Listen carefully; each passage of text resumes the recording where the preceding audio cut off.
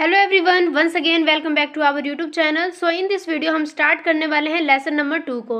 इससे पहले unit number one and unit number two का जो लेसन नंबर वन है, उसको हमने कवर कर लिया। ये हमारी थर्ड क्लास है, जिसमें हम लेसन नंबर टू को डिस्कस करने वाले हैं, सारी चीज़ों को बिल्कुल स्ट्रक्चर वे में समझने वाले हैं। तो वीडियो जो है आपके लिए काफ़ी ज़्यादा हेल्पफुल होने वाला है। वीडियो के एंड तक ज़रूर बने रहना। साथ ही अगर वीडियो के एंड में आपको क्लासेस से सारे कॉन्सेप्ट क्लियर हो जाए तो वीडियो को लाइक ज़रूर कर देना। तो स्टार्ट कर लेते हैं अपनी क्लास को। तो सबसे पहले देखो लेसन का नेम ही है e marketing e tailing online services e action and online portal मतलब कि ऑल ओवर एक मार्केट के बारे में जब बिल्कुल इलेक्ट्रॉनिक रूप से मतलब कि ऑनलाइन तरीके से जब सारी सर्विसेज़ को प्रोवाइड किया जाता है तो इन एक्टिविटीज़ के बीच में कौन कौन से ऐसे पॉइंट है जो कि यहाँ पर इंक्लूड होते हैं, या किस तरीके से जो सारा सिस्टम है वो वर्क करता है? तो यहाँ पर इस चैप्टर में इन्हीं चीज़ों को समझने वाले हैं तो स्टार्ट कर लेते हैं अपनी क्लासेस को। तो सबसे पहले देखो जो हमारा लेसन नंबर टू का जो फ़र्स्ट पॉइंट आता है फ़र्स्ट टॉपिक आता है ई मार्केटिंग तो ई मार्केटिंग का मतलब होता है कि इलेक्ट्रॉनिक मार्केटिंग इलेक्ट्रॉनिक मार्केटिंग का मतलब ये है कि जब जो मार्केट है वो अपना पूरा फंक्शनिंग बिल्कुल ऑनलाइन तरीके से करने लग जाए, बिल्कुल टेक्नोलॉजी बेस हो जाए, कि सारे काम को वो टेक्नोलॉजी के ऊपर डिपेंड होकर सारे रिसोर्सेज का यूज़ करने लग जाए और अपने बिज़नेस को काफ़ी ज़्यादा जब एडवांस बनाने लग जाते हैं तो वो सारा जो काम है वो ई मार्केटिंग के अंदर आ जाता है। तो इन्हीं सारी चीज़ों को यहाँ पर हम डिस्कस करेंगे। तो जैसे कि हमने लास्ट जो हमारी दो क्लास हुई है यूनिट नंबर वन और यूनिट नंबर टू का जो फ़र्स्ट लेसन उसमें भी हमने ये चीज़ तो पढ़ा ही था कि ई कॉमर्स के काफ़ी सारे टाइप्स होते हैं, जिसके अंदर B two C B two B ये सारी चीज़ें इंक्लूड किए जाते हैं। इसको हमने अपने लास्ट वीडियो में डिस्कस कर लिया था। यहाँ पे भी मैं आपको थोड़ा सा बता देती हूँ, तक, ताकि अगर आप भूल गए होंगे या आपने अगर प्रीवियस वीडियो नहीं देखा होगा तो भी आपको यहाँ पर आके कोई प्रॉब्लम ना हो। तो बी टू सी का मतलब होता है बिज़नेस टू कस्टमर कि कोई भी लेन देन जो सीधा बिज़नेस से कस्टमर तक पहुँच जाता है कंज्यूमर तक पहुँच जाता है। जैसे कि एग्ज़ाम्पल के लिए हमने फ्लिपकार्ट या अमेजोन पे या किसी भी अदर ऐप पे हमने वहाँ पे कोई भी सामान को ऑर्डर किया है और वो जो सामान है, वो जो जो भी हमने ऑर्डर किया है, वो सीधा बिजनेसमैन से ओनर से सीधा हमारे घर तक आ जाता है। बीच में कोई भी पार्टीज़ नहीं आती है, बीच में कोई भी ऐसा पर्सन नहीं आता है, सिर्फ़ हमें सीधा सामान मिल जाता है। तो ये क्या है बिज़नेस टू कस्टमर का ही एग्ज़ाम्पल है। उसके बाद है बिज़नेस टू बिज़नेस मतलब जिसको हम बी टू बी भी बोलते हैं। इसका मतलब है कि मान लो जो दो बिज़नेस है, दो अलग अलग बिज़नेस आपस में जब लेन देन करते हैं ट्रांजेक्शन करते हैं, वहाँ पर एक बिजनेसमैन किसी भी चीज़ का जब ट्रांसफ़र दूसरे बिजनेसमैन के पास कर देता है, उसकी कंपनी में या उसके ऑर्गेनाइजेशन में कहीं पर भी। मतलब कि दो कंपनियों के बीच में होने वाले सारे ट्रांजेक्शन को हम बी टू बी के अंदर कवर कर लेते हैं। तो यही काफ़ी सारे ऐसे पॉइंट हैं जो कि ई कॉमर्स के अंदर इंक्लूड किए जाते हैं और इन सभी को अगर मिला दिया जाए और एक नाम दिया जाए तो वो कहलाती है ई मार्केटिंग तो यही है सारी टेक्नोलॉजी जिसके बेस पे आजकल मार्केट जो है इतना ज़्यादा एडवांस हो रखा है। तो आई होप आपको ये आइडिया लग गया होगा कि ई मार्केटिंग है क्या, ये जिसको हम ई बिज़नेस भी बोल सकते हैं ई कॉमर्स भी बोल सकते हैं, कि ये एक ऐसा सोल्यूशन बन गया है जहाँ पर जो बिजनेसमैन है, आजकल टेक्नोलॉजी बेस हो गया है, वहाँ पर सारे इंट्रा एक्स्ट्रा सब कुछ जो है इंटरनेट पर डिपेंड हो गया है इंटरनेट के थ्रू ही सारे काम को वहाँ पर कंप्लीट कर लिया जाता है।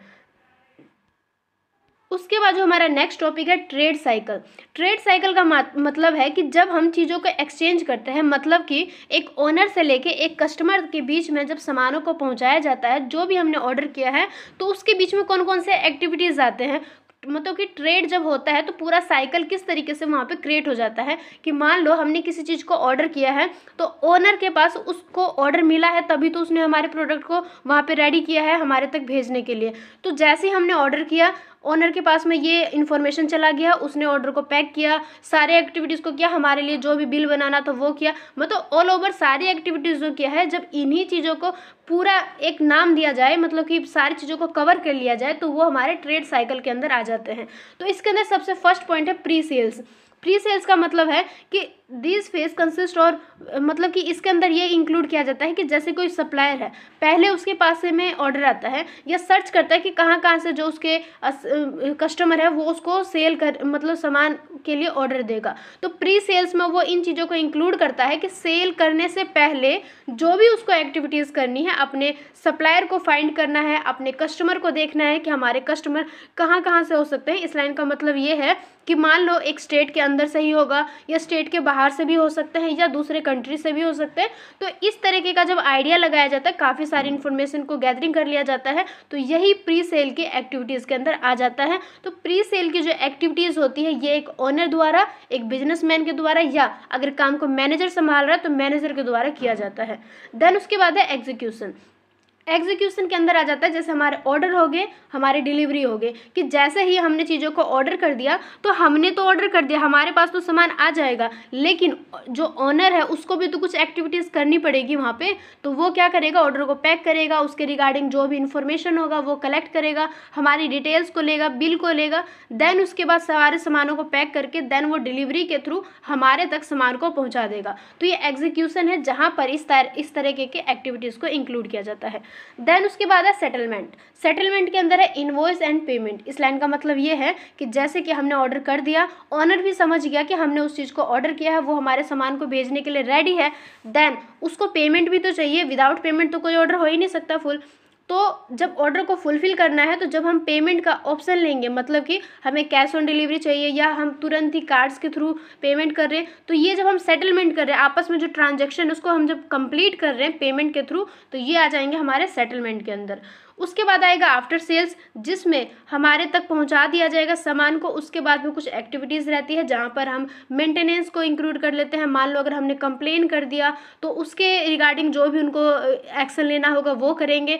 साथ ही आफ्टर सेल्स भी कई सारी सर्विसेज़ को प्रोवाइड किया जाता है। कई बार देखोगे आप फ्री डिलीवरी का ऑप्शन रहता है। कई बार ये रहता है कि आपको सामान दे दिया, अगर आपको पसंद नहीं है तो आप तुरंत लौटा भी सकते हो। आपको कोई भी अलग से पैसे वहाँ पर चार्ज नहीं किया जाएगा। तो ये सारे जो फैसिलिटीज़ है, जिसको आफ्टर सेल्स के अंदर इंक्लूड किया जाता है। तो यहाँ तक आप समझ गए होंगे कि ये सारी जो एक्टिविटीज़ है, जहाँ पर ऑर्डर करने से लेके ऑर्डर मिलने तक के बीच में जितनी भी एक्टिविटीज़ इंक्लूड की जाती है, उसको ही हम ट्रेड साइकिल का नाम देते हैं।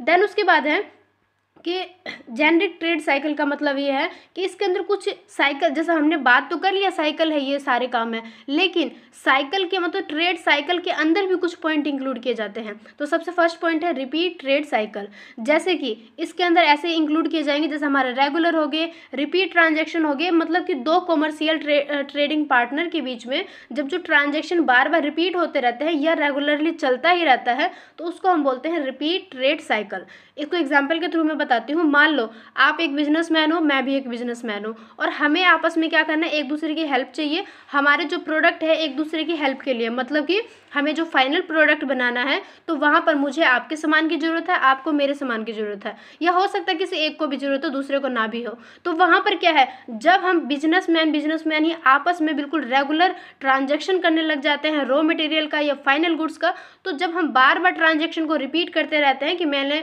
मान लो आज ऑर्डर किया आपने सामान भिजवा दिया देन उसके बाद कुछ टाइम बाद फिर मैंने आपको ऑर्डर दिया, फिर ऑर्डर दिया। तो इस तरीके से जो ऑर्डरिंग का काम है, ये बिल्कुल रिपीट चलता ही रहता है ट्रांजेक्शन का काम। इसको हम इंक्लूड करते हैं रिपीट ट्रेड साइकिल के अंदर। देन उसके बाद है क्रेडिट क्रेडिट ट्रेड साइकिल इसके अंदर ये इंक्लूड किया जाता है कि जैसे कि देखो, दो कमर्शियल रिटेलर के बीच में जब रिलेशनशिप सही बन जाती है मतलब कि एक दूसरे के ऊपर भरोसा हो जाता है तो वहाँ पर क्या है, उधार भी काम चलते रहते हैं। मतलब कि हमने ऑर्डर भी कर दिया, हमारे पास ऑर्डर भी मिल गया, लेकिन हमने पेमेंट को तुरंत ना करके इन फ्यूचर के लिए रख लिया कि हम इन फ्यूचर जाके उसको पेमेंट करेंगे। तो यहाँ पर क्या है, जब आपस में उधार काम करने लग जाते हैं ट्रेड जो है, बिल्कुल क्रेडिट बेस हो जाता है तो इस पॉइंट के अंदर इंक्लूड किया जाता है। तो यहाँ पर आपको ये फिगर दिखाई दे रहा है मतलब कि बता रहा है कि किस तरीके से ये जो पूरा सलकर चलता रहता है प्री सेल्स का एग्जीक्यूशन का सेटलमेंट का आफ्टर सेल का, ये इस तरीके से जो एक्टिविटीज़ है रन करती रहती है। देन उसके बाद हमारा नेक्स्ट पॉइंट है नेचर ऑफ़ ट्रेड साइकिल कि ट्रेड साइकिल का नेचर कैसा होता है? इसके अंदर काम को कैसे इंक्लूड किया जाता है? या कौन से ऐसे ट्रांजेक्शन है? किस तरीके से, किस प्रकार से यहाँ पर सम्मिलित किए जाते हैं? तो सबसे पहले देखो कि जो ट्रेड साइकिल होता है, कई बार जो इनके ट्रांजेक्शन है बिज़नेस टू बिज़नेस होते रहते हैं, काफ़ी टिपिकली हो जाते हैं थोड़ा सा यहाँ पर डिफ़िकल्टीज़ भी आ जाते हैं। कई बार हम कंज्यूमर टू बिज़नेस भी करते हैं। कहने का मतलब है कि हमारे जो साइकिल है ट्रेड साइकिल है, काफ़ी अलग अलग तरह के हो सकते हैं। तो ई कॉमर्स के अंदर ही जब ट्रांजेक्शन को बार बार रिपीट करते हैं एक्सचेंज करते हैं तो सारी एक्टिविटीज़ को यहाँ पर हम सम्मिलित कर देते हैं इंक्लूड कर देते हैं नेचर ऑफ़ ट्रेड साइकिल के अंदर। जहाँ पर ये देखा जाता है कि ट्रेड साइकिल के अंदर कौन कौन से पॉइंट को इंक्लूड किया जाता है। तो यहाँ पर आप इसको फिगर को भी देख सकते हो। यहाँ पे दिखाया गया है कि किस तरीके से सर्च हो गया या डिलीवरी कर रहे आफ्टर सेल्स दे रहे प्री सेल्स दे रहे तो ये सारे पॉइंट यहाँ पर बताते हैं। देन उसके बाद हमारा नेक्स्ट पॉइंट है supply chain supply chain chain का मतलब है कि जैसे कि एक कस्टमर है जिसने ऑर्डर किया है देन जो ओनर है, जो सामान को दोबारा कस्टमर तक पहुँचा रहा है मतलब कि ऑर्डर करने से लेके ऑर्डर मिलने तक जो बीच में एक्टिविटीज़ चलती है, जिसको मतलब कि सामान को जब हम सप्लाई कर रहे हैं, भेज रहे हैं तो ये जो एक चैन बनती रहती है, उसी को हम बोलते हैं सप्लाई चैन तो ये किस तरीके से वर्क करता है? सबसे फर्स्टली जो कस्टमर है उसने क्या किया? ऑर्डर दे दिया। किसको दे दिया? सप्लायर को दे दिया। सप्लायर क्या करेगा? उस चीज़ को मैन्युफैक्चरर करेगा। मैन्युफैक्चरर उनके पास ऑलरेडी रहता है, लेकिन इस काम के अंदर, इस एक्टिविटीज़ के अंदर इसको इंक्लूड किया जाता है, जहाँ पर उत्पादन से लेके बिल्कुल उपभोक्ता तक मतलब कस्टमर तक पहुँचाने तक के बीच में सारी एक्टिविटीज़ को किया जाता है। मान लो इसको एग्ज़ाम्पल के थ्रू समझ लेते हैं, ज़्यादा क्लियर हो जाएगा। मान लो आपने किसी चीज़ को ऑर्डर कर दिया, कुछ भी सामान हो सकता है वो। वो आपने ओनर तक में ऑर्डर दे दिया, उसने देख लिया। लेकिन एट ए टाइम उसके पास वो सामान नहीं है। अब लेकिन उसको ऑर्डर मिला तो उसको तो कंप्लीट करना पड़ेगा अदरवाइज़ उसकी गुडविल ख़राब हो जाएगी। मान लो हमने ऑर्डर किया और हमें ऑर्डर नहीं मिलता है तो हम तो उस कंपनी के बारे में गलत थिंकिंग बना लेंगे ना कि ये तो ऑर्डर को कैंसिल कर देता है या ऑर्डर को टाइम पे पहुंचाता नहीं है। तो सप्लायर क्या करेगा? वो हमारे लिए तुरंत मैन थोड़ा सा डिलीवरी को लेट करके हमारे लिए तुरंत मैन्युफैक्चरिंग करेगा उस चीज़ को। तो वो क्या करेगा? चीज़ों को मैन्युफैक्चरिंग करेगा या उनके ऑर्डर में अगर ऑलरेडी बनी हुई है चीज़ तो उसको तुरंत हमारे तक पहुँचाएगा। तो यही एक तौर तरीका होता है मतलब एक पूरा टाइप्स बन जाता है, एक पूरा इसके अंदर प्रोसेस आ जाता है जिसमें जो सप्लायर है मैन्युफैक्चर करेगा, चीज़ों को हमारे अकॉर्डिंग बनाएगा या जिस भी तरीके से उसका प्रोडक्ट रहता है, उसको बना के और देन कस्टमर तक उसको पहुँचा देगा। तो सप्लाई चेन के अंदर यही सारी चीज़ों को इंक्लूड किया जाता है। उसके बाद में, उसके बाद हमारा जो नेक्स्ट इंपॉर्टेंट पॉइंट है ऑनलाइन मार्केटिंग ऑनलाइन मार्केटिंग का मतलब है कि किस तरीके से जितने भी बिजनेसमैन है या जितने भी ऐसे कंपनीज़ है जो कि आजकल ऑनलाइन प्लेटफॉर्म पे वर्क कर रही है। कहने का मतलब है कि जब वो चीज़ें सारे ऑनलाइन तरीके से एक दूसरे के पास में ट्रांजेक्शन होने लगती है या जो ऑर्डरिंग के थ्रू जो बिज़नेस है वो चलने लग जाती है तो यही सारा हमारा ऑनलाइन मार्केटिंग के अंदर आ जाता है। इसका जो एरिया है काफ़ी ज़्यादा बड़ा है। ऐसा नहीं है कि इसमें काफ़ी कम वर्क किया जाता है, इसका जो एक्टिविटीज़ है काफ़ी ज़्यादा बड़ी है, काफ़ी सारे इसके अंदर पॉइंट इंक्लूड होते हैं। तो इन्हीं सारी चीज़ों को हम डिस्कस करेंगे, जिसके जिसका नाम है ऑनलाइन मार्केटिंग तो सबसे पहले इसके अंदर पॉइंट इंक्लूड किया गया मार्केटिंग मार्केट सिगमेंट शेयर कि किस तरीके से जो मार्केट है उसके अंदर काफ़ी सारे पॉइंट इंक्लूड किए जाते हैं। कस्टमर को कस्टमर तक पहुँचा जाता है। यहाँ पे कस्टमर रीच लिखा है कि कस्टमर तक किस तरह से पहुँच बनाई जाती है।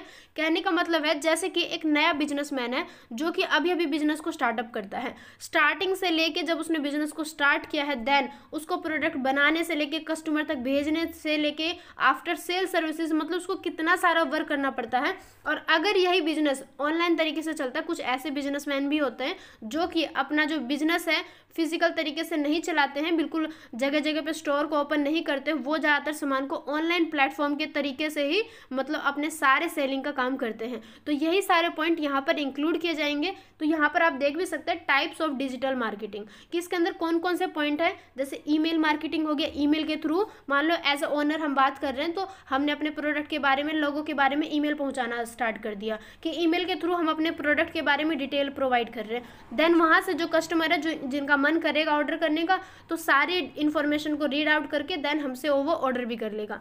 इन्फ्लुएंसर मार्केटिंग हो गया, जहाँ पे हम लोगों को इन्फ्लुएंस करते हैं, ज़्यादा ज़्यादा लोग जो हमारे बिज़नेस के साथ में जुड़ जाए और ज़्यादा ज़्यादा कस्टमर भी हमारे तरफ़ में अट्रैक्ट हो जाए। वायरल मार्केटिंग रहता है मोबाइल मार्केटिंग रहता है कि आजकल देखोगे जो ऐप होते हैं, ये काफ़ी सारे एक्टिविटीज़ को और काफ़ी सारी सुविधाएँ प्रदान करती है, जहाँ पर लोग मोबाइल के थ्रू ही किसी भी ब्रांड का प्रचार करने लग जाते हैं। तो मोबाइल के थ्रू ही आप देखोगे कई सारे ऐप है, जैसे मीशो ऐप है, ये कई सारे ऐसे ऐप है, जो कि दूसरे लोगों को इस काम के अंदर इंक्लूड करते हैं, जहाँ पर एक नॉर्मल पर्सन भी उसके ब्रांड को एडवर्टाइज करने लग जाता है। तो यही सारे वर्क जो हमारे मोबाइल मार्केटिंग के अंदर इंक्लूड किए जाते हैं। रेडियो और टीवी के थ्रू ही काफ़ी सारे एडवर्टाइज एडवर्टीजमेंट किए जाते हैं, जिससे ऑर्डरिंग का काम भी मिल जाता है। इलेक्ट्रॉनिक बिल हो जाते हैं सर्च इंजाइन हो गया, जहाँ पर हम सर्च करके भी चीज़ों के बारे में डिटेल ले सकते हैं। देन उसके बाद अगर हमारा मन करे तो हम उसको ऑर्डर भी कर सकते हैं। पे पर क्लिक हो गया सोशल मीडिया मार्केटिंग हो गया, जैसे आप देखोगे आजकल ये हमारे बिल्कुल डेली लाइफ का ही एक काम है, ये डेली लाइफ का ही हमें एग्ज़ाम्पल देखने को मिलते हैं। जहाँ पे देखोगे आप सोशल मीडिया में, जैसे फेसबुक हो गया इंस्टा हो गया, या आप यूट्यूब को ओपन कर लो तो वहाँ पे कई सारे ऐसे ब्रांड है, जो कि आपको जैसे ही ऑन करोगे, आपको वो तुरंत सामने दिखाई देने लग जाता है।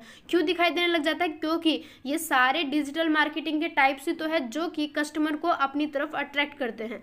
उसके बाद कंटेंट मार्केटिंग ईमेल मार्केटिंग ये सारे पॉइंट को इसके अंदर इंक्लूड किया जाता है। That is types of digital marketing तो इसके अंदर जो सबसे फ़र्स्ट पॉइंट दिया गया है ई टेलिंग ई टेलिंग के अंदर पहले आप यहाँ पे एग्जांपल दे सकते हो कि इतने सारे जो कंपनीज़ है, ये इसके अंदर इंक्लूड किए जाते हैं। साथ ही इनके अलावा भी अपने बिज़नेस को बिल्कुल ऑनलाइन तरीके से चलाते हैं। जैसे अमेजोन हो गया ईबे हो गया फ्लिपकार्ट हो गया स्नैपडील मिंत्रा ये काफ़ी सारे ऐसे कंपनीज़ हैं जो कि बिल्कुल ई टेलिंग के आजकल काफ़ी ज़्यादा पॉपुलर में चलते हैं क्योंकि इनके थ्रू हम किसी भी चीज़ को ऑर्डर कर सकते हैं। बिल्कुल मतलब डेली लाइफ के जितने भी चीज़ें यूजेस में आते हैं, सारी चीज़ों को हम यहाँ से ऑर्डर करके अपने घर तक ले सकते हैं। तो यही सारे ई टेलिंग है जिसको ऑनलाइन मार्केटिंग के अंदर सम्मिलित किया जाता है इंक्लूड की जाती है।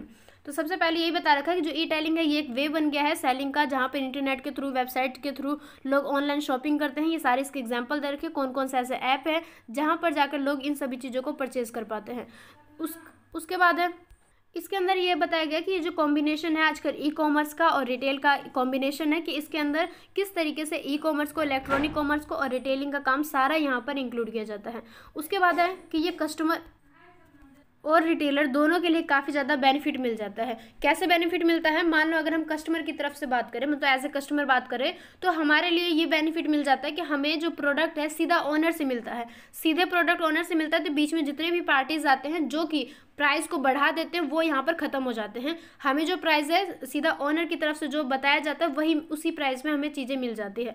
अगर हम रिटेलर की तरफ़ से बात करें तो यहाँ पर क्या हो जाता है कि बीच में जितने भी मध्यस्थ आते हैं, वो सारे यहाँ पर ख़त्म हो जाते हैं। जो ऑनर है, वो सीधे कस्टमर तक माल को जितने रुपये में पहुँचाना चाहता है, उतने रुपये में पहुँच जाता है। दोनों को ही प्राइजेस का यहाँ पर काफ़ी ज़्यादा प्रॉफिट मिल जाता है। तो ये सारा, और साथ ही साथ ये भी फ़ायदा होता है कि रिटेलर का बीच में जो एक सामान का रहता है कि जहाँ पर नुकसान होने की संभावना रहती है या कहीं पर चोरी मतलब तो इस तरीके से काफ़ी सारे ऐसे रिस्क हो जाते हैं, वो सारे यहाँ पर ख़त्म हो जाते हैं। तो इसलिए ये जो ई मार्केटिंग चला है ई टेलिंग चला है, ये सारे जितने भी ये ब्रांडिंग चल रहे हैं आजकल मार्केटिंग में, शॉपिंग का, ये सारे कस्टमर के लिए और रिटेलर के लिए, दोनों के लिए काफ़ी ज़्यादा बेनिफिट में हो सकते हैं। या मिलते भी है। हो सकते हैं, नहीं मतलब मिलते भी आजकल देखने को मिलते हैं। उसके बाद है जो हमारा नेक्स्ट पॉइंट है top e commerce website in India कि भारत में ई कॉमर्स के जितने भी वेबसाइट चल रहे हैं, जिसके थ्रू हम चीज़ों को ऑनलाइन ऑर्डर कर सकते हैं तो वहाँ पर इंडिया में टॉप कौन से कौन से ऐसे ई कॉमर्स वेबसाइट चले हुए हैं? तो यहाँ पर देख सकते हो आप अमेजोन है फ्लिपकार्ट है मिंत्रा है स्नैपडील है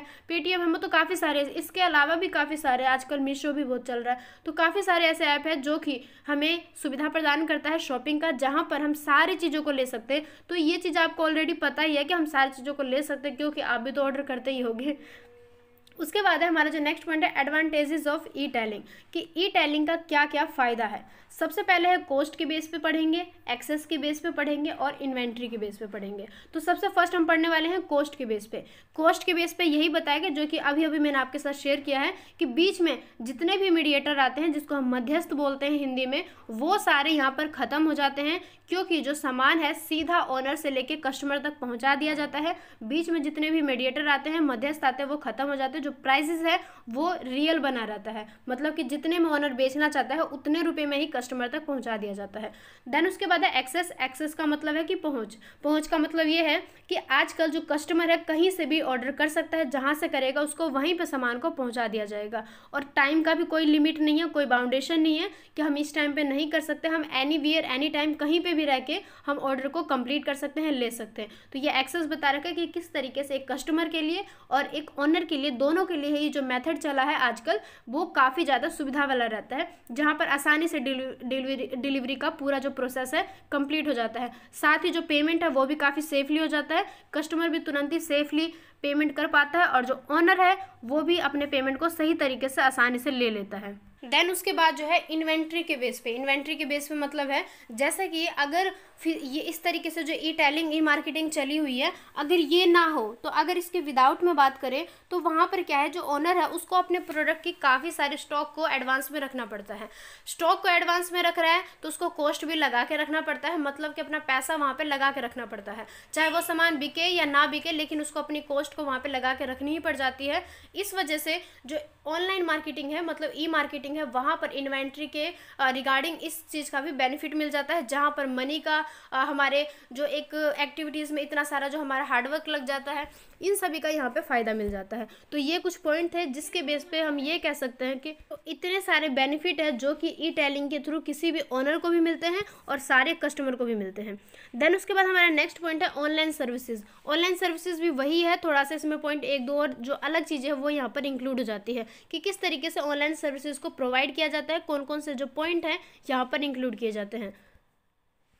जान पाते हैं कि किस तरीके से जो एक सप्लायर है, करने वाला जो पर्सन है मतलब कि जो ओनर है, वो कौन कौन से स्ट्रेटजीज को अपनाता है कौन से ऐसे रणनीतियाँ, नीतियों को अपना कर कस्टमर तक सारे सामानों को पहुँचाने का काम करता है। मतलब कि सर्विस को जब ऑनलाइन तरीके से प्रोवाइड की जाती है तो इसमें कौन कौन से मेथड कौन कौन से टाइप्स यहाँ पर इंक्लूड किए जाते हैं तो यही हमारा ऑनलाइन सर्विसेज़ है। तो इसके सारे पॉइंट को डिस्कस कर लेते हैं। सबसे पहले दे रखा ई प्रोक्योरमेंट इसका मतलब है कि जब आप क्रॉस एंटरप्राइज सिस्टम के अंदर आते हो मतलब कि जब क्रॉस जब दो अलग अलग एंटरप्राइजेस के बीच में ट्रांजेक्शन होते हैं, सारे इंटीग्रेशन होते हैं तो यहाँ पर क्या हो जाता है, ये सारी फैसिलिटीज़ प्रोवाइड की जाती है ई प्रोक्योरमेंट के द्वारा। तो ये क्या है, एक बाय मतलब चीज़ों को खरीदने बाय और सेल करने में काफ़ी ज़्यादा हेल्प प्रोवाइड करता है। साथ ही ये स्टडी करता है मतलब इस चीज़ की हमें डिटेल प्रोवाइड करता है कि किस तरीके से ई प्रोक्योरमेंट जो है हमें चीज़ों को जानने में हेल्प करता है। तो इसके साथ में इसको कुछ एडवांटेजेस दे रखा है, जैसे कि इट इनहेंस एफिशिएंसी ये हमारे दक्षता को बढ़ाने में हेल्प करता है। किसके दक्षता को बढ़ाने में? एक ओनर को मतलब कि जो सर्विसेज़ को प्रोवाइड कर रहा है, उसके दक्षता में एफिशिएंसी को बढ़ाता है इन्हेंस करता है। उसके बाद है it reduce cost and cycle time कि ये क्या करेगा? लागत मतलब कॉस्ट जो वहाँ पे लग रहा है, उसका जो खर्चा वहाँ पे पड़ रहा है, उसको कम करेगा रिड्यूस करेगा, साथ ही साथ जो एक साइकिल चलता रहता है, जिसको अभी अभी हमने डिस्कस किया था, पूरा ऑर्डर से लेके ऑर्डर को पहुँचाने तक के बीच में जो भी उनका साइकिलिंग रहता है, उसके टाइम को कम करता है। मतलब कि कम से कम टाइम में सारी फैसिलिटीज़ को प्रोवाइड कर दी जाती है। देन उसके बाद है बाद है it helps in contract compliance and customer ये कस्टमर तक पहुँचाने में, सारी चीज़ों को कॉम्प्लेंस करने में काफ़ी ज़्यादा हेल्प करता है। देन उसके बाद जो हमारा नेक्स्ट पॉइंट है ई कोलेब्रेशन इसका मतलब भी सेम ऐसे ही है कि जब क्रॉस एंटरप्राइजेस टेक्नोलॉजी के थ्रू आपस में ट्रांजेक्शन होगा इंट्रैक्शन होगा तो वहाँ पर ये फैसिलिटीज़ ई कोलेब्रेशन के थ्रू प्रोवाइड की जाती है. इसके अंदर भी कुछ इसके फ़ायदे हैं. सबसे पहले है डिज़ाइन साइकिल टाइम कि यहाँ पर क्या है साइकिल का जो एक टाइम है, उसको डिज़ाइन किया जाता है फ्रेमवर्क बना लिया जाता है, कि किस तरीके से चीज़ों को स्ट्रक्चर वे में कंप्लीट होगा. देन उसके बाद है कि यहाँ पर चीज़ों को भी रीयूज़ किस तरीके से किया जाएगा, इसको भी यहाँ पर डिज़ाइन कर लिया जाता है. साथ ही साथ रेवेन्यू को भी यहाँ पर फिक्स कर लिया जाता है। सारी चीज़ें बिल्कुल स्ट्रक्चर वे में चले, इसके लिए काफ़ी सारी यहाँ पर एक्टिविटीज़ को इंक्लूड कर लिया जाता है। इंटीग्रेटेड प्लानिंग एंड मैन्युफैक्चरिंग कि किस तरीके से जो एक प्लानिंग का काम है मैन्युफैक्चरिंग का काम है, इसको इंटीग्रेट किया जाता है। तो यहाँ पर इन सारे पॉइंट को हम डिस्कस करेंगे, जहाँ पर काफ़ी सारे फ़ायदे होते हैं एडवांटेजेस होते हैं, जैसे कि लीड टॉम मार्जिन की। यहाँ पर क्या होता है, जो एक मार्जिन बना रहता है हर प्रोडक्ट पे, कि उस प्रोडक्ट से कितना ज़्यादा हमें मिलने वाला उसको लीड करता है। हमारी एक्यूरेसी को, हमारी फ्लेक्सिबिलिटी को यहाँ पर डिसाइड कर लिया जाता है। मतलब कि आपको एक्यूरेसी तो मिलेगा ही मिलेगा, साथ में फ्लेक्सिबिलिटी भी मिल जाती है सारे सर्विसेज़ के बीच में। इन्वेंट्री का जो लेवल है, वो सेटअप हो जाता है। मतलब कि इन्वेंट्री को सही तरीके से कंट्रोल हो पाता है। देन उसके बाद ऑन टाइम डिलीवरी की फैसिलिटीज़ जो है, यहाँ पर प्रोवाइड कर दी जाती है। मतलब कि जो कस्टमर है, उनको टाइम पर डिलीवरी की जाएगी, जिससे जो ऑनर है, उसकी बिज़नेस बिज़नेस की एक तरह से गुडविल भी बन जाती है, साथ ही साथ उसका बिज़नेस जो है, वो भी सही तरीके से यहाँ पे चल पाता है। देन उसके बाद है इंटीग्रेटेड डिलीवरी इसके अंदर भी काफ़ी सारे फ़ायदे मिलते हैं, जैसे कि लॉजिस्टिक साइकिल साइकिल राइम हो जाता है कॉस्ट रिड्यूस हो जाता है ले टाइम फिक्स हो जाता है।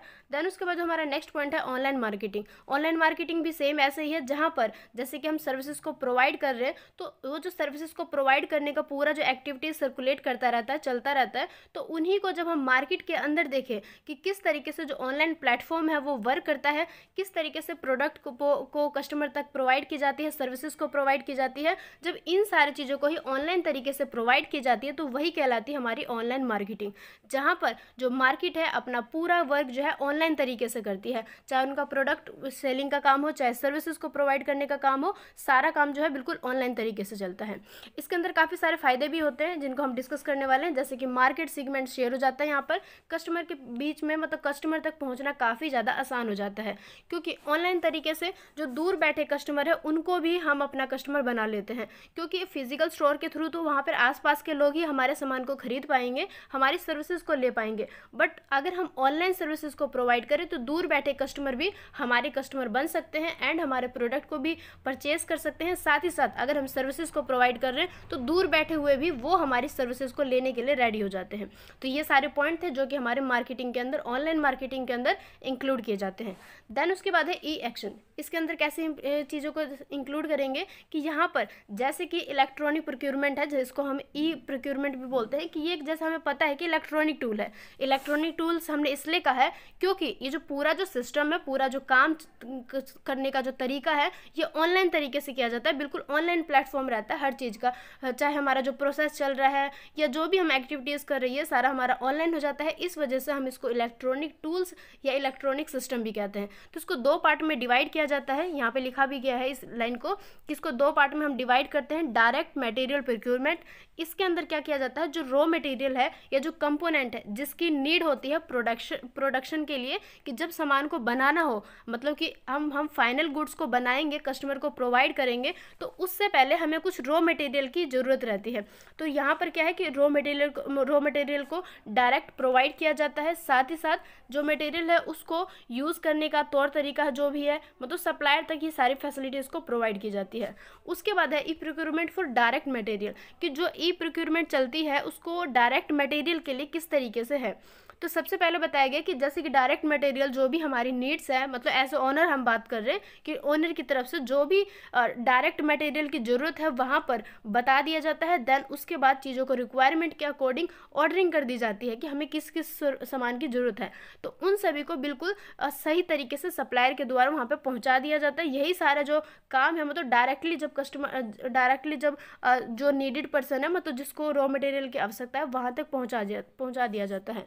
देन उसके बाद है जो इसी का जब दूसरा तरीका देखेंगे कि फॉर इनडायरेक्ट मटेरियल कि इनडायरेक्ट मटेरियल को हम किस तरीके से पहुंचाते हैं? थ्रू ई प्रोक्योरमेंट के थ्रू तो जब इसके अंदर बात करते हैं तो यहाँ पर जो प्रोडक्ट रहते हैं, काफ़ी लो वैल्यू के रहते हैं, जहाँ पर लेकिन उनका जो ऑर्डरिंग का जो एक वॉल्यूम रहता है, वो काफ़ी ज़्यादा हाई रहता है। मतलब कि उनका वैल्यू कम रहता है बट जो उनका ऑर्डरिंग रहता है, वो काफ़ी ज़्यादा हाई रहता है और इसको लार्ज नंबर में जो पीपल है मतलब कि जो जिनको इन सभी की ज़रूरत है, वो इनको लार्ज नंबर में ऑर्डर करते हैं। तो इसको जब ऑर्डरिंग करते हैं ऑनलाइन तरीके से तो कंपनी के पास में काफ़ी सारे मतलब वैल्यूबल अमाउंट ऑफ़ मनी की ज़रूरत पड़ती है, साथ ही साथ दूसरे काफ़ी सारे रिसोर्सेज के। कि मतलब ये दो तरीका हो जाता है डायरेक्ट मटेरियल को किस तरीके से प्रोवाइड करते हैं और इनडायरेक्ट मटेरियल को किस तरीके से करते हैं। डायरेक्ट मटेरियल कौन से होते हैं? इनडायरेक्ट मटेरियल कौन से होती है? आप अकाउंट के सब्जेक्ट में पढ़ते हो तो वहाँ पर इन चीज़ों को काफ़ी डीपली तरीके से आप समझ सकते हो। तो यहाँ पर हम बस ये देख रहे हैं कि जो डायरेक्ट और इनडायरेक्ट मटेरियल को प्रोवाइड किया जाता है तो किस तरीके से यहाँ पर चीज़ों को इंक्लूड किया जाता है।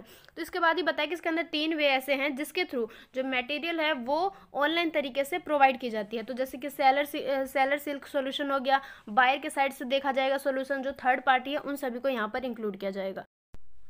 देन उसके बाद जो हमारा नेक्स्ट पॉइंट है ऑनलाइन पोर्टल ऑनलाइन पोर्टल का भी मतलब ऐसा होता है कि एक प्लेटफॉर्म है जहाँ पर जो भी सिस्टम चल रहा है मैन्युफैक्चरिंग का सेलिंग का परचेजिंग का, वो ऑनलाइन तरीके से किया जाता है. मतलब कि एक प्लेटफॉर्म मिल जाता है जहाँ पर जो बायर है मतलब कि सामानों को खरीदने वाला और जो ओनर है मतलब जो अपने सामानों को प्रोडक्ट को सेल करेगा, वो भी यहाँ पर ऑनलाइन प्लेटफॉर्म का यूज़ करते हैं. मतलब कि दोनों पार्टीज़ इस प्लेटफॉर्म पर प्रेजेंट रहते हैं और अपने अपने काम को यहाँ पर कंप्लीट करते हैं. तो सबसे पहले ये दे रखा है कि e commerce application in manufacturing जो ई कॉमर्स एप्लीकेशन है मतलब कि जो ऑनलाइन प्लेटफॉर्म है, वो मैन्युफैक्चरिंग में किस तरीके से हेल्प करता है? या किस तरीके से यहाँ पर इस चीज़ को इंक्लूड किया जाता है? तो सबसे पहले ऐसे तो हमें पता है कि जो मैन्युफैक्चरिंग है, इसमें रॉ मटेरियल को फिनिश गुड में ट्रांसफॉर्मेशन किया जाता है मतलब कि परिवर्तित किया जाता है।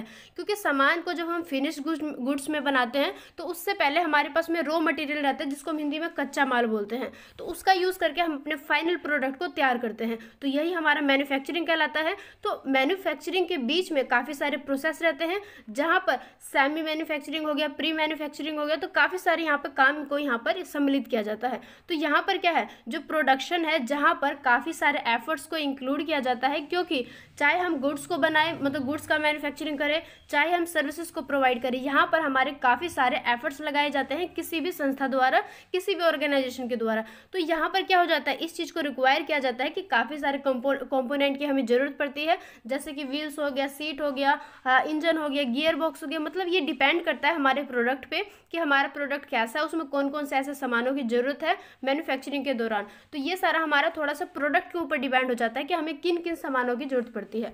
तो यही बता रखा है कि मैन्युफैक्चरिंग के दौरान में इन सारे चीज़ों की यहाँ पे ज़रूरत पड़ जाती है, जिसको हम ई कॉमर्स के द्वारा भी आजकल कंप्लीट किया जाता है। तो इसको कैसे करते हैं, यही यही चीज़ जो है हम यहाँ पर डिस्कस करने वाले हैं। तो सबसे पहले है e commerce application in wholesale जो होलसेल जो मैन्यु प्रोडक्ट को प्रोवाइड करने का जो तरीका होता है जहाँ पर सामानों को बिल्कुल थोक रूप में थोक में ज, मतलब कहने का मतलब है कि जब किसी भी रिटेलर द्वारा सेलर द्वारा जब काफ़ी बड़े अमाउंट में सामानों को खरीद लिया जाता है देन उसको छोटे छोटे व्यापारियों तक पहुँचा दिया जाता है तो मतलब कि वो होलसेल का जब काम करते हैं तो इस एप्लीकेशन में आजकल ई कॉमर्स का यूज़ किया जाता है। कैसे किया जाता है? मान लो एग्ज़ाम्पल के थ्रू इसको समझते हैं कि एक पर्सन है ए पर्सन है, जिसने होल सेलर का बिज़नेस खोल रखा है। किसी भी प्रोडक्ट को क्या करेगा? कंपनी से मतलब डायरेक्टली उस कंपनी से आपस में जो भी उनका बातचीत होगा तो उसको फिक्स कर लेंगे कि किस तरीके से सामानों को वो अपने पास में ले लेगा।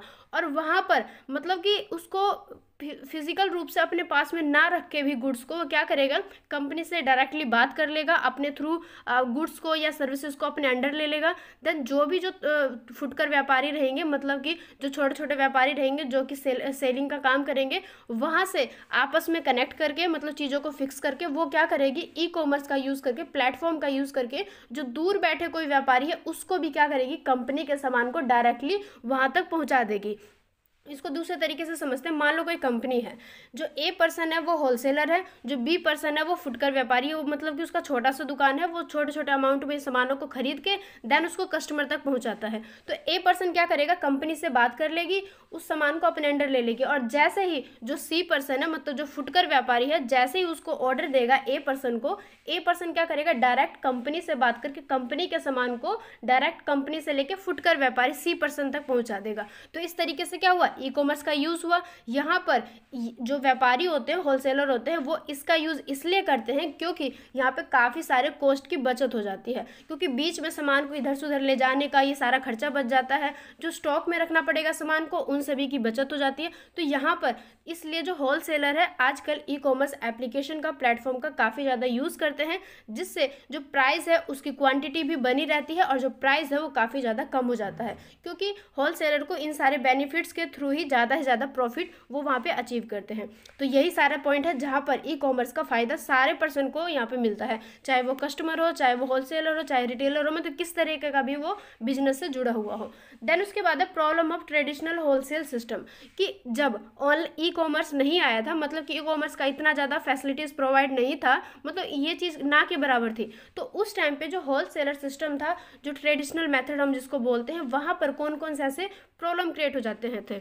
तो इसको अगर हम नॉर्मली समझें मतलब कि अपने सिलेबस से हट के तो आप क्या क्या आइडिया लगा सकते हो? कि अगर मान लो कोई भी ई कॉमर्स नहीं है, कोई भी यहाँ पर प्लेटफॉर्म नहीं है तो कौन कौन से प्रॉब्लम क्रिएट हो सकते हैं? फ़र्स्ट प्रॉब्लम ये क्रिएट हो सकता है कि यहाँ पर ज़्यादा से ज़्यादा अमाउंट में स्टॉक को रखना पड़ेगा, ताकि अगर सामने से ऑर्डर आए तो उसको पहुँचाएँगे। सामान को कस्टमर तक पहुँचाने के लिए काफ़ी जगह पर उसको रखना पड़ेगा मेनटेन करना पड़ेगा चीज़ों को, और काफ़ी सारे कॉस्ट को यहाँ पर लगाना पड़ेगा।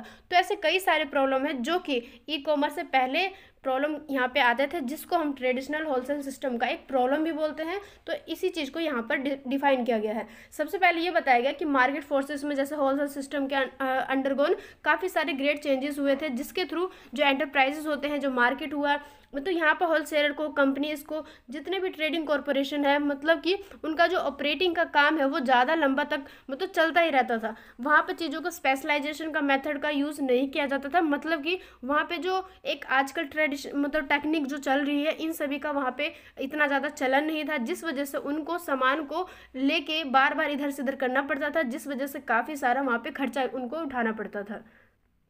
तो ये सारे इसके प्रॉब्लम हो गए।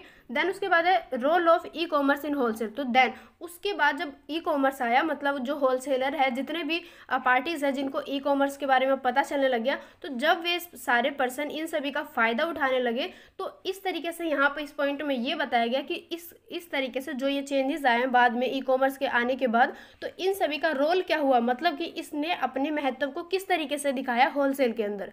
तो यहाँ पर देखो, बताया गया है कि मार्केट इकोनॉमी में जहाँ पर लो ऑपरेटिंग कॉस्ट का फ़ायदा होता है एक्सेस हो जाता है। इन्फॉर्मेशन का मतलब कि जो भी रिस्पॉन्स है, जो भी हमारे इन्फॉर्मेशन है, उसको तुरंत ही एक दूसरे पार्टीज़ तक पहुँचा दिया जाता है। साथ ही यहाँ पर जो एडवांस इन्फॉर्मेशन है, जो टेक्नोलॉजी है एंटरप्राइजेस है, उसको ग्लोबल मार्केट तक पहुँचा दिया जाता है। यहाँ पर लिखा है ना can reach out to the global market तो यहाँ पर क्या है ग्लोबल मार्केट का मतलब है कि एक देश से बाहर जब दूसरी कंट्रीज़ में भी हमारे प्रोडक्ट की सेलिंग परचेजिंग होने लग जाती है तो वहाँ पर क्या होता है कि इसका ग्लोबल रूप से पहुँच हो जाती है कि हमारे इन्फॉर्मेशन को टेक्नोलॉजी को मतलब जो भी हम प्रोवाइड करना चाहते हैं, उसको बिना किसी प्रॉब्लम के दूर बैठे किसी पर्सन तक भी हम उसको आसानी से पहुँचा सकते हैं। उसके बाद में ही क्या हुआ कि इससे सेम टाइम पे ही इन्फॉर्मेशन को ऑप्टेन करना, पहुँचाना, वो भी लो कॉस्ट पे और हाई स्पीड पे। मतलब कि स्पीड तो हो गया था हाई और उसके साथ में जो कॉस्ट है, वो हो गया था कम। तो इसका फ़ायदा ई कॉमर्स का हुआ तो ई कॉमर्स के आने के बाद हुआ था। किसको हुआ था? होलसेलर को। तो यहाँ पे बताया गया है कि किस तरीके से ई कॉमर्स ने अपने रोल को निभा के होलसेलर के लिए काफ़ी सारे बेनिफिट्स को यहाँ पे प्रोवाइड किए गए हैं।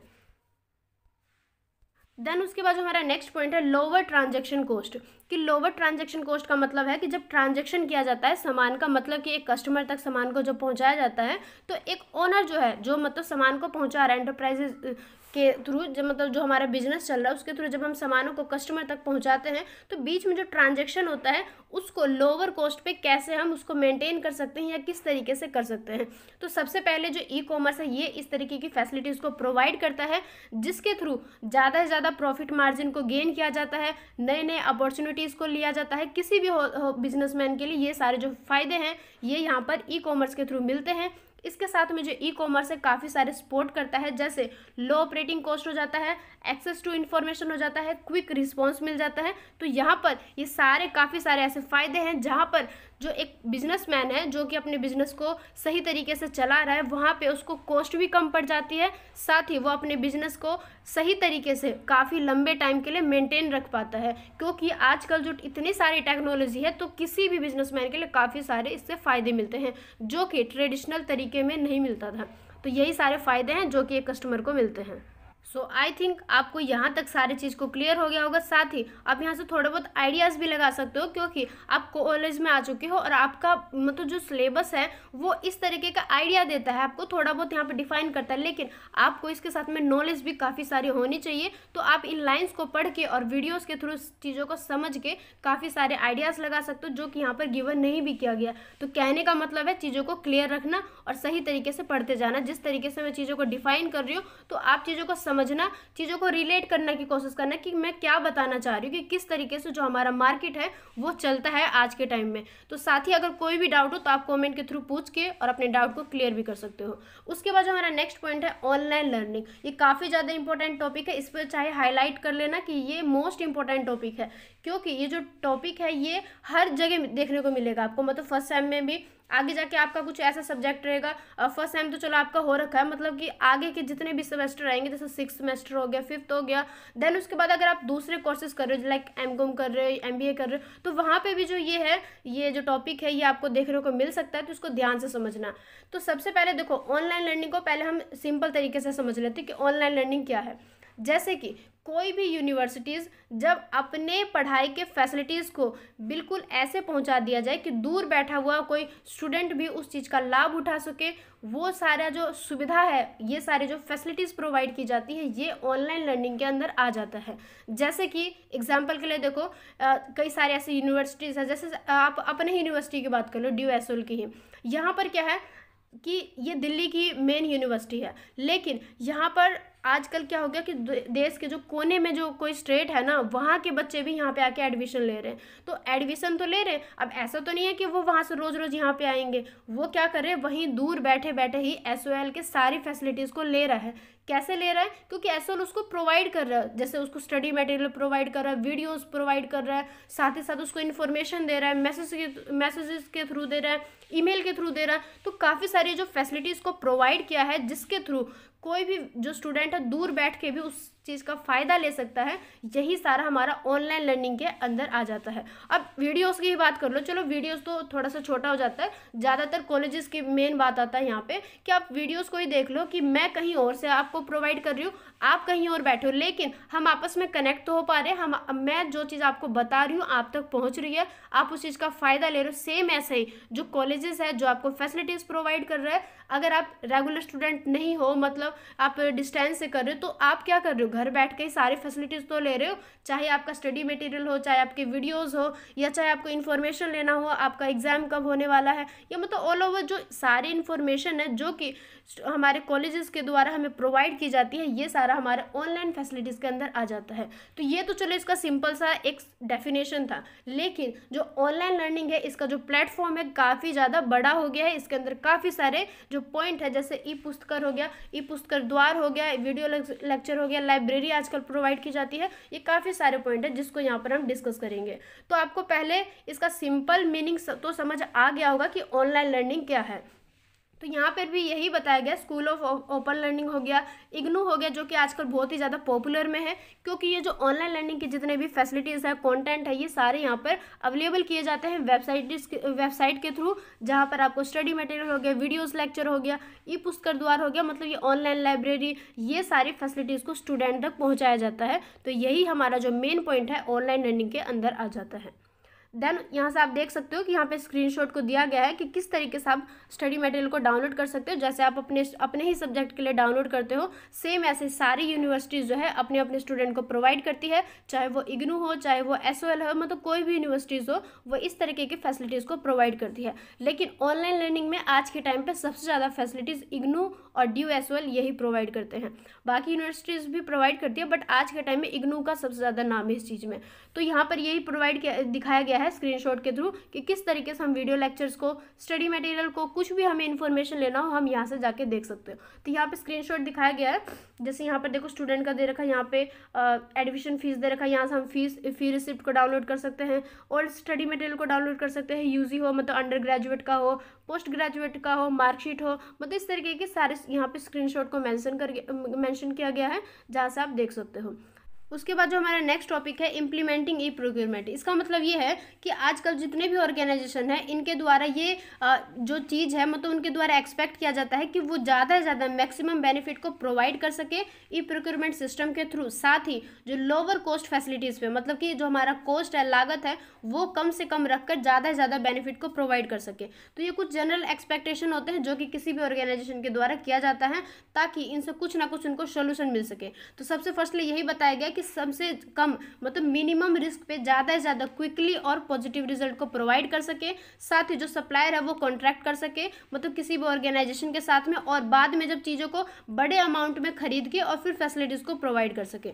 उसके बाद है कि limiting the number of supplier by choosing only efficient company as preferred supplier कि जो एक जो एफिशिएंट कंपनियाँ हैं मतलब जहाँ से हम चीज़ों को प्रेफर एक सप्लायर के तौर पर चीज़ों को सही तरीके से प्रेफर कर सके चूज़ कर सके देन उसके बाद में लिमिटिंग अमाउंट में चीज़ों को लेके प्रोवाइड कर सके। देन उसके बाद है adopting best practice in procurement कि प्रोक्योरमेंट के अंदर हम बेस्ट तरीके से प्रैक्टिस कर सके और इस चीज़ों को अडॉप्ट कर सके, अपने आप में इस चीज़ को सम्मिलित कर सके। तो उसके बाद ये नेक्स्ट जो पॉइंट बताया कि यहाँ पर ये सारे जो एक्सपेक्टेशन है, ये किसी भी संस्था के द्वारा एक्सपेक्ट किया जाता है। साथ ही जो इसका फुल फॉर्म होता है चीफ प्रोक्योरमेंट ऑफिसर मतलब सीपीओ ये इस चीज़ को रिक्वायर करता है कि एंजोर करता है कि किस तरीके से ये जो सारे सोल्यूशन है, ये प्रोवाइड किए जाते हैं किसी भी संस्था के संस्था के ऊपर। तो यही सारे पॉइंट थे जो कि इसके अंदर इंक्लूड इंक्लूड किए जाते हैं। तो आई होप ये सारे पॉइंट मतलब जितना आज की हम, आज की इस क्लास में हमने किया है, आपको सारे पॉइंट सही तरीके से क्लियर हो गया होगा। कहीं पे भी कोई भी डाउट को मत रखना, क्योंकि डाउट को क्लियर करते हुए चलना काफ़ी ज़्यादा इंपॉर्टेंट हो जाता है। तभी लास्ट में जाके वो जो टॉपिक रहता है कॉन्सेप्ट रहता है, हमें सही तरीके से आ जाता है। तो आई थिंक आपको सारे सही तरीके से समझ में आ गया हो, कहीं पर भी कोई डाउट हो तो आप कॉमेंट के थ्रू मुझसे पूछ सकते हो। साथ ही आज की इस क्लास में बस इतना ही रख लेते हैं, आगे के जो कुछ टॉपिक है, उसको अपने नेक्स्ट क्लासेस में कवर कर लेंगे। मतलब कि जो हमारी नेक्स्ट क्लास आएगी, उसमें आपका जो यूनिट नंबर टू है, वो कंप्लीट हो जाएगा। तो आज की इस क्लास में बस इतना ही रख लेते हैं। अगर आपको वीडियो सही लगे क्लासेस के थ्रू आपके कॉन्टेंट आपके सिलेबस जो है, आपका जो टॉपिक है, अगर वो क्लियर हो गया होगा तो वीडियो को लाइक ज़रूर कर देना। मिलता अपने नेक्स्ट वीडियो में। अगर आप चैनल पर फ़र्स्ट टाइम विज़िट करें तो चैनल को सब्सक्राइब ज़रूर कर लेना। वीडियो सही लगे तो वीडियो को लाइक ज़रूर कर देना। मिलता अपने नेक्स्ट वीडियो में। तब तक के लिए बाय एंड टेक केयर